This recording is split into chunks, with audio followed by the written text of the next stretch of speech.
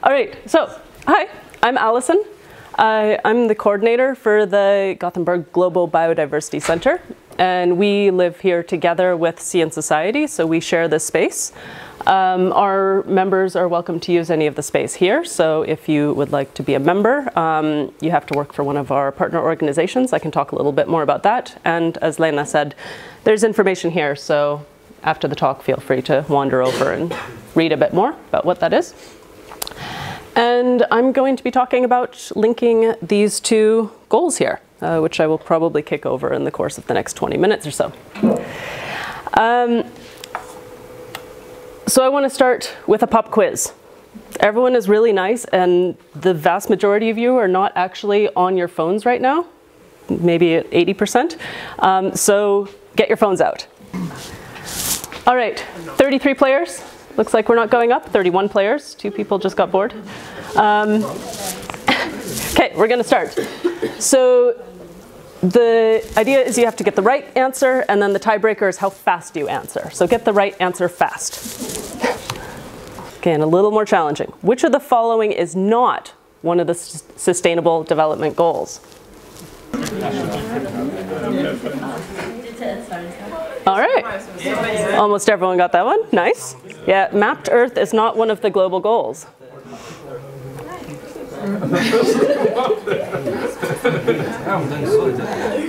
Dr. Centipede is still doing really well. Garcia is also. Oh. All right. How, what percentage of ocean species have not yet been named by scientists?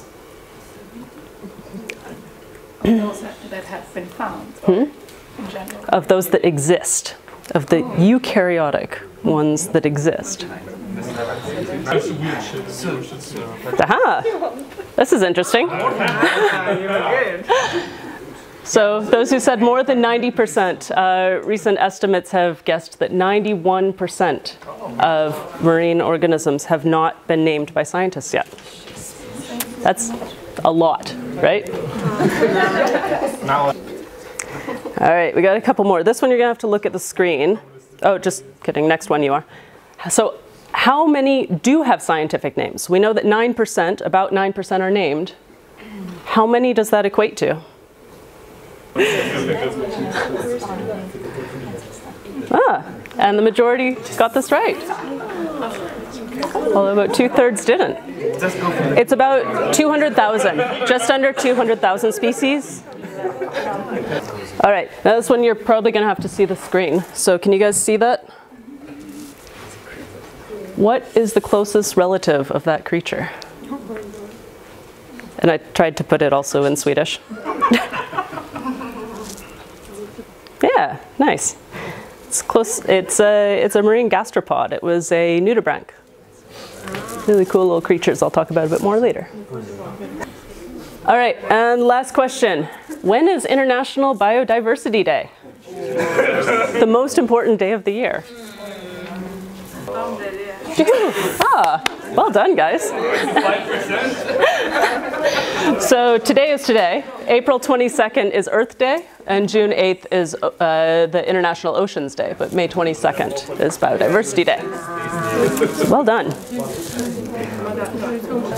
Um, so now that everyone is engaged and has some idea about maybe what I might be talking about, um, hopefully you're ready to listen to me talk about all those things that we just had some questions about. I'm really impressed with the background knowledge here, actually. This was better than I expected, which is nice. um, so I'm talking about the sustainable, the SDGs, the global goals. Um, and what are these? How many of you guys know what they are? Hands up. Okay, we got some like shy halfway up hands. so this is this, uh, it's also called Agenda 2030, and this is this idea that came out. It was put up by the UN in 2015, and the idea was that they were going to come up with these 17 very broad goals. And with these goals, if we are able to achieve these goals, uh, we will be able to live with a, uh, on a sustainable planet that is still here for future generations. So we have these different goals, and the idea with these goals is that we're going to be able to leave a planet that is sustainable into the future for human life. And as Lena was saying, that a lot of them are connected. Like we can say life below water and life on land are obviously somewhat rel uh, relative to each other, relevant. And then climate action, for instance, that's something that we can all see how that very clearly will relate to biodiversity, right? It gets warmer, the corals go away. It's something we see connected. But there's also um, some friction between some of these. And it's something that we also have to consider. How can we preserve biodiversity while we're still, uh, uh, while we have, uh, what is it, economic growth? Um, 18. 18? I got you. Yeah, so decent work in economic growth. That type of thing, that, those are challenges. Those are not easy things. They're not straightforward because those are often issues that will collide with each other. So it's something that we need to think about. But these are all goals that are feasible. Uh, the UN has set out 169 different points that they will use to address these 17 goals. And each of those has one to three different uh, indicators, basically saying this is whether or not we managed to do that thing. So the two that I'm going to be talking about today are uh, the biodiversity ones. Um, and I'm talking about that because I'm part of the Biodiversity Center. I'm, the, yeah, I'm coordinating the Biodiversity Center, and we work with biodiversity, both on land and in the oceans and in the seas. Uh, and we have some pretty impressive biodiversity in western Sweden. And we also have a whole bunch of uh, Um, we have a bunch of different organizations around Western Sweden that are working with this biodiversity. And so what the Biodiversity Center does is we connect these organizations. We have, um, in addition to six different departments at the University of Gothenburg, um, we're hosted here at the Department of Biological and Environmental Sciences, um, which half of the people sit upstairs, half of them sit up at Zoologen. Um, in addition to the University of Gothenburg, we have Universeum, we have Havets up in Lysekil, we have the Natural History Museum, Nordens Ark, uh, one of the departments at Chalmers, and Botaniska, which is outside.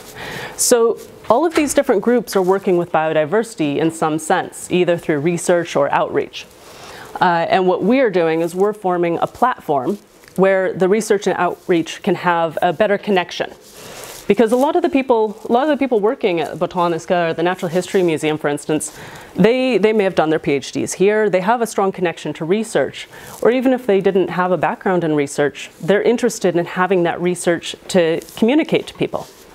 And likewise, a lot of the people here uh, doing research are interested in getting, they want to tell people what they're doing, because why are you doing it if people don't know and if there's no implication for it? So we're creating this area, this uh, this venue where we can come together and exchange um, exchange our expertise and our possibilities to either do research or outreach. We have an excellent steering board. Uh, this is a picture of all of us uh, just a couple weeks ago um, up at Nordens Ark. Uh, we have a couple of our steering board members here. Ellen and Lena are here, and I think that's it. Yes. Um, but we have representatives from all of the institutions. And so it's a really good chance for all of us to sit down and say, what are you guys, you know, what's going on and make sure that we have this connection. so a little bit more about these goals. So if you go into the, the website, um, on the UN website that talks about these goals, they have, they've sort of simplified the main points. And uh, you don't need to read these. I'm opposed to having text on slides in general because now you're just going to read that. Um, but the main point that I want to say here is that, uh, especially with the life below water, sustainably manage and protect marine and coastal ecosystems. Uh, conserve at least 10% of coastal and marine areas uh, based on the best available scientific information.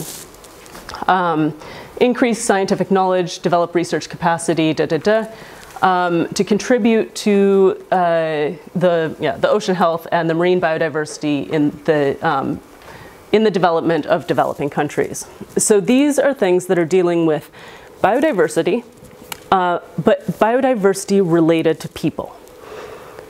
There's two different ways of looking at biodiversity, really. If we're thinking about conservation, we can think about it, that biodiversity should be conserved because biodiversity is cool. And we can think about that biodiversity should be conserved because it does something for us, right? And scientists are very split on which one is more important and which is the reason that we should conserve biodiversity. These goals are made in the sense of what biodiversity does for us. They are not there because biodiversity is cool or has some sort of inherent right to be here. They are there because it's something that is valuable to us. And so that's the context that we need to be thinking about this in. The life on land goals are a little bit um, more inherently for biodiversity itself, which is interesting. Um, specifically, take urgent and significant action to reduce the degradation of natural habitats, halt the loss of biodiversity, and by 2020, so we have one year to go, protect and prevent the extinction of threatened species. Um, not high odds on that one, I guess. But it's important to have that on the agenda and to know that this is something that we are aiming for. And this, this one, the way this is written, is a little bit more in the sense of biodiversity for in and of itself. The rest of them, as I said, this is just a few of about a dozen. The rest of them are very explicitly about how humans use biodiversity, what we're eating, what we're, um, if we're cutting forests down, that type of issue. So this is the only one where it's really biodiversity for biodiversity. So I want to talk a little bit about um, where biodiversity is. So we have this goal 14 and goal 15. And I think that they've done a really nice job with putting these goals together, but I think that this one misses the point a bit because as much as these goals are very human centered, this is like this is such an arbitrary boundary. What's the difference between biodiversity underwater and biodiversity above water? Except that there's this little layer between it, right? And that's because of the way that we think about it. So if we look at something like this little uh, island bit, we look out and what we see is, you might see the palm trees, some rice, you see what's going on there. And then you see this shiny thing, and who knows what's underneath it, right? Um, so most people think that it's filled with sharks, probably swimming in a pool of blood. Or at least that's what I assume whenever my head is above the water and my feet are underneath it. That's what's going on. Um, in reality, it's something a bit more like this. We have amazing coral reefs under there. We have this fantastic diversity, and it's something that I, I, really think this contrast is amazing how you can't see anything, and then all of a sudden, with 10 centimeters, you can see this entire other world. But the thing is, it's, it's really the same. It's biodiversity. It's these organisms that have evolved over millions of years, uh, existing, doing their thing. And what difference does it make if they're hanging out in water or on land? And sometimes you get to see sharks if you're lucky. so. And this all comes into a lot of how we perceive our planet. Um, so I found this really interesting. I found this a few, maybe a month or two ago. Um, this idea of how we see colors and how we describe colors. And depending on what your first language is, you might see and or you might perceive colors differently and be able to eh, describe them in a different way. So for instance, in Russian, they have an extra word for what I would call light blue. This is fundamental words without these light, dark, these kind of these, uh, these modifiers on them. So the fundamental words. And it's the way that they are then able to group them. Right? So if you're a native Russian speaker, you will actually see colors in a slightly different way and be able to describe things. If we go back to ancient Greek, if you look in the Odyssey, they didn't have many colors at all. They were describing the sea as wine colored. Uh, it's, it's really, it's a different perception. And I think of like if I'm doing a puzzle, be like, okay, I'm gonna take all the orange pieces. And you take all the orange pieces and then you have these kind of weird orangey yellow pieces and the orangey purple pieces and you kind of start collecting them because you're not sure where they go. And pretty soon someone comes in and they look at them and they're like, why is there, you know, a green piece? And you're like, oh, well, it seemed kind of orangey at the time. And if we think of this in the same way species, way with species, um, like for instance, birds. What if birds are the color blue? But then in Russian, you might have owls and eagles. If you don't have the words to tell them apart, it's actually quite hard to tell them apart. You can say, I don't know, it was kind of bigger than the other one. It was cuter, it had bigger eyes. it's really, really hard to make this distinction, and you get into this gray zone. So giving things names where we can talk about them is important. So, as I said, 91% of the species in the ocean are not yet described scientifically. So how are we going to conserve these things when we don't even know what they are? That's a pretty fundamental building block, right? Like, let's save the fish. But what's the difference between a minnow and a tuna then, right? So this is, this is an important question. Um, so getting into a bit about what the Biodiversity Center does, there's a lot of research going on at the Biodiversity Center, and some of the most fundamental research is describing species. So these are a few different species uh, that have been described in the last two years uh, from different researchers. And uh, yeah, we have the stalked puffballs that Ellen has uh, been part of describing. We have slime molds, which were on a paper I was on uh, mongrel frog from Mozambique, uh, which a PhD student um, here was uh, part of describing. And this uh, new species of a plant called cinchona from Bolivia. And if we're getting back to what does this actually do for us, um, this cinchona species was described by uh, Claes Persson at the Herbarium and Alexander Antonelli, who uh, works at the Department of uh, Biological Environmental Sciences, as well as Kew now. Um, this species, this one actually might do something for us. One of its closest relatives is the species where we get quinine from. That's something that we use against malaria. That's pretty important for us, right? So while the slime molds might not be overly relevant to my everyday life just yet, chinchona could be. So it's not that it's just these tiny little things that haven't been described yet. There's some really important big stuff out there that is yet to be found. Um, and that frog, uh, frog that I just showed, um, that was by Harith Farooq, a PhD student here. And I want to talk a little bit more about another species that he's found recently. Uh, he has been studying the, uh, the fauna of northern Mozambique for many years. He's from there. Uh, but he's doing his PhD between Portugal and here. And a year and a half now, he and a few other people from the Biodiversity Center went there and they were looking at the diversity on these Inselbergs, these table mountains. Um, they look something like this. So they're these kind of dry habitats with lots of trees and there's stuff going on, but the thing is, hardly anyone's actually looked at what's there. We don't really know what's there. And this is an extremely threatened habitat.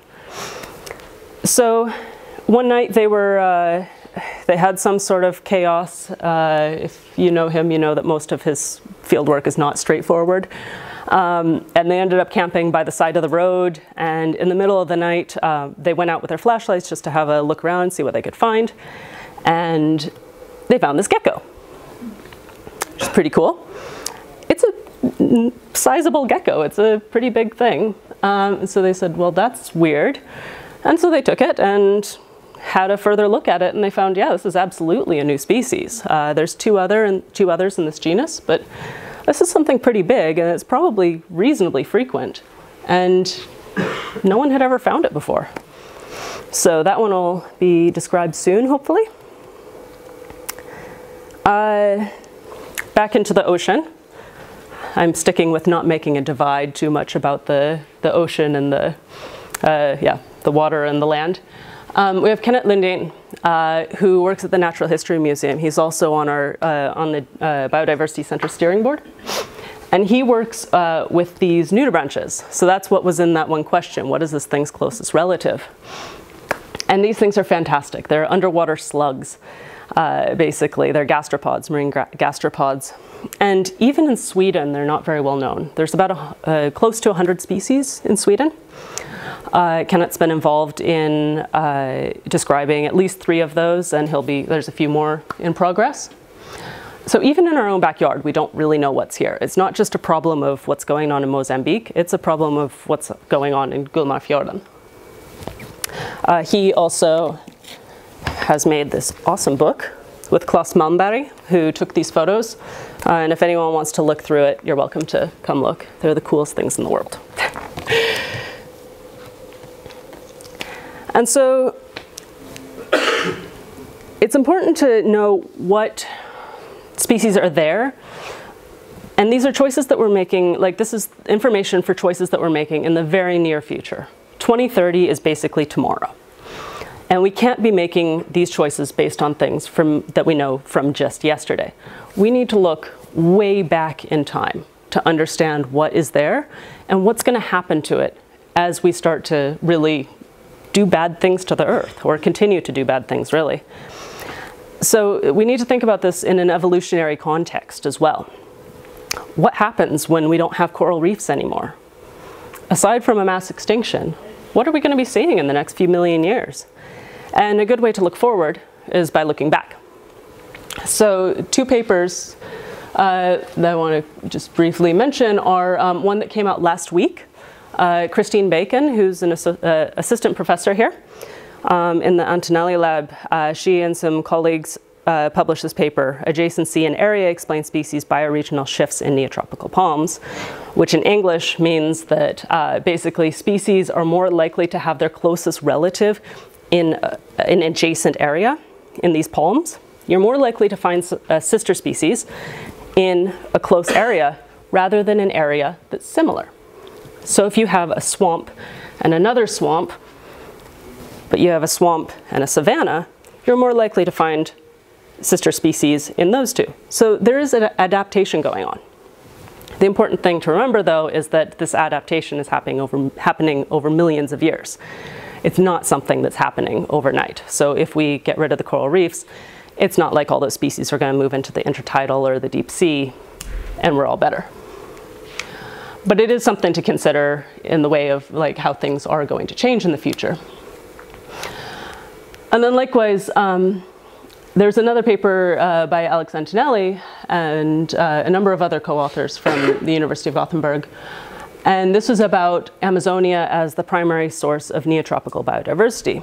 And so this was looking at uh, when you have species uh, dispersing, when they're moving uh, historically, which areas are they going to and from? And they found that by and large, many, many species were coming from Amazonas. But the thing that you need to look at more is this other figure, which unfortunately people on the sides can't really see maybe, where it shows within different taxonomic groups, within the flowering plants, within the uh, frogs, within the mammals, um, ferns, what are these patterns doing? And what you see is that it's not super, super clear. There's a general pattern, but what goes on in every group is really different. There's going to be different things happening whether you're looking at birds or ferns. So yeah, and that's something that we really need to think about when addressing these goals is how are things going to react? And if someone says, this is what the bears are doing, that's not the same thing that your, you know, primula is going, going to be doing. That's something that, like, it's, you have to consider these at different levels in different groups. And this is what we scientists love to do, is take everything with a grain of salt. But at the same time, we also need to put out very clear ideas um, about this is what we suggest that's done because this is the general pattern. Um, going to finish up with a shameless plug for uh, this is a book that I co-edited with um, Carina Hoorn in uh, the Netherlands and Alexandre Antonelli from here in Kew. Uh, and this talks a bit more about this interplay about, um, we're specifically looking at mountains in this book. It's 31 chapters that are contributed from different authors. Uh, and we're looking at what mountains do to biodiversity because we have, it's really, really different uh, systems that are uh, in very small spaces. So you can, have, you can have different organisms doing really interesting things in small spaces. And it's really high biodiversity in mountains as well. So if you're interested in looking through that, you're welcome to come do that. Uh, and it's, it, it, really shows how complex this, uh, this idea is, where you need to be looking at um, the geological, the climatic, and the biodiversity issues together. It's all about together. And then end on this, the better informed we are about biodiversity, the more likely we are to reach this goal. And that's at all different levels. Um, we need to do the basic research, we need to do the applied research, and as members of the general public, engaging yourself is very, very important. Knowing the difference between different types of birds is a really nice start for actually understanding and appreciating what they are and the diversity out there. If you only see black and white, you're not going to see the amazing different colors all around. And two ways to do that are Biodiversity Day May 22nd, uh, we're going to have a whole bunch of events going on. Uh, the garden will be having, uh, yeah, a number of events. There's a program that will be out soon. Uh, we're also going to have an event up at the Natural History Museum where we're going to have uh, researchers from the Biodiversity Center telling stories from the, from the road. So their best tales of what has gone right and wrong during their fieldwork. Should be fun. And then the biodiversity lecture. We had Peter and Rosemary Grant here last year, and we're in the process of recruiting a new big name for next year. So look out for that. Um, along with information on how to join us, you can also get our newsletter. You can follow us on Facebook, Twitter, and all of this information will be there. Uh, I will be shamelessly and constantly promoting it uh, leading up to the events. So please join us for that. And thank you.